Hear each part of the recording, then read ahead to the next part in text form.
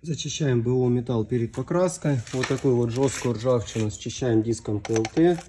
Вот такие вот маленькие какие-то побежалости. Зачищаем вот такой вот витой щеткой. Щетки используем синие, они всегда в наличии.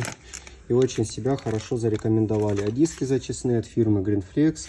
Это идет диск именно для зачистки металла. Есть диски для зачистки дерева. То есть, видите, здесь для зачистки металла идет вот такой вот конус.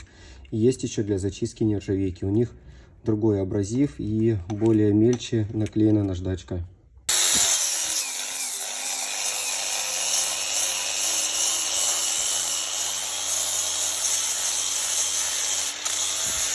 Зачищаем витой щеткой и непосредственно коралловым диском и диском ТЛТ. Вот такой результат получим. То есть у нас вот такая вот жесткая ржавчина идет.